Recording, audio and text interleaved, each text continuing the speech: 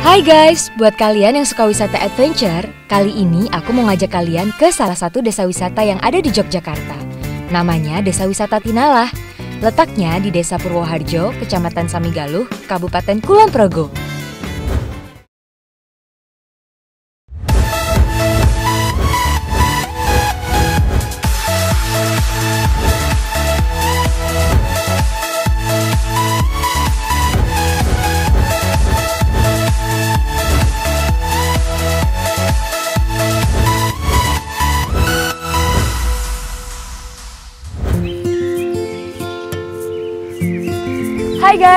Sekarang aku udah ada di desa wisata Tinalah. Di Dewi Tinalah ini aku mau ngajakin kalian adventure. Mau tahu kan keseruannya kayak gimana? Ikutin aku ya. Wisata adventure pertama aku di Dewi Tinalah adalah Ghost Riti. Halo Pak, Krisi. Ya Rianto mbak. Iya, Pak saya mau lihat ke dalam. Oke mau ke jalan tapi sebelum masuk kita pakai helm Oh. dulu biar aman. Iya, oke. Sama seperti goa pada umumnya, Goa Sriti memiliki stalagmit dan stalaktit yang menghiasi dinding goa. Bukan sekedar tempat sembunyi loh, goa ini juga jadi saksi sejarah dilantiknya Pangeran Diponegoro menjadi Sultan Abdul Hamid. Wah, goa ini emang cukup lebar, tapi tetap aja pengap dan gelap. Jadi kebayangkan guys kalau misalkan dulu Pangeran Diponegoro bersembunyi di sini selama berhari-hari. Tapi goa ini keren. Petualangan seru aku berikutnya di desa ini adalah bermain outbound. Tapi nggak lucu juga ya kalau outboundnya sendirian. Outbound itu lebih seru kalau rame-rame. Nah, mumpung ada rombongan yang lagi main outbound nih, aku mau gabung ah. kan.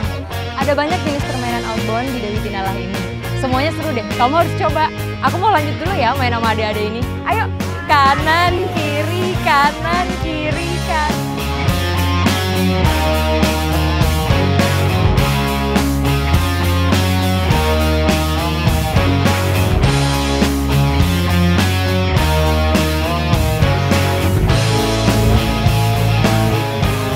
Keseruan main outbound semakin lengkap kalau dilanjutin dengan menyusuri Sungai Tinala yang indah ini. Airnya sejuk banget guys. Di tengah perjalanan, aku diajak main susun batu. Butuh ketenangan dan ketelitian dalam menyusun batu ini. Dan yeay, aku menang guys!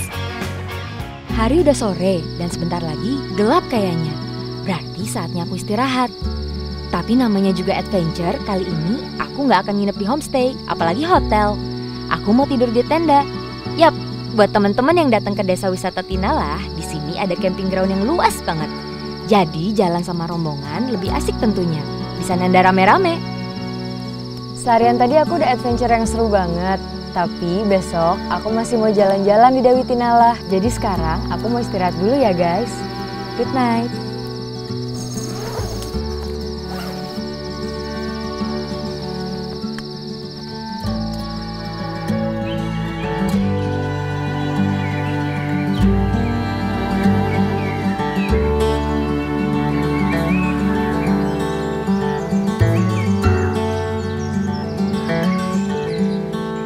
Pagi guys, yang dikangenin dari sebuah desa adalah suasananya yang kayak gini.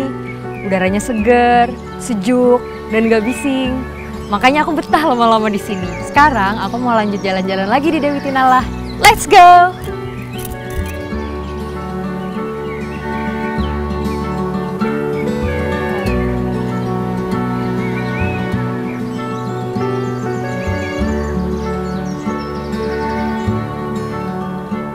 Kamu juga bisa mempromosikan desa wisata yang kamu kunjungi dengan posting foto kamu di sosial media, lalu mention atau tag ke pesona ID underscore travel.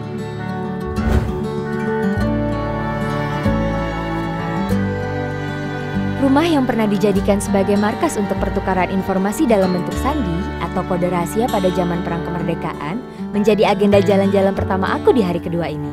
Bagus banget deh guys.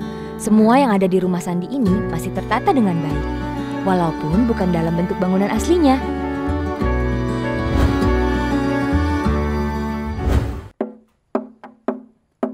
Pukulan yang dihasilkan oleh alu, sebuah kayu panjang untuk menumbuk padi, dan juga lesung, rongga kayu berbentuk seperti perahu panjang sebagai tempat padi yang ditumbuk, terdengar harmonis di telingaku. Ya, kesenian yang unik ini dinamakan Gejok Lesung. Wah, susah juga guys ternyata. Dan kesenian gejok lesung ini adalah penutup liburan aku di Dewi Tinalah. Sampai jumpa di desa wisata lainnya ya. Bye!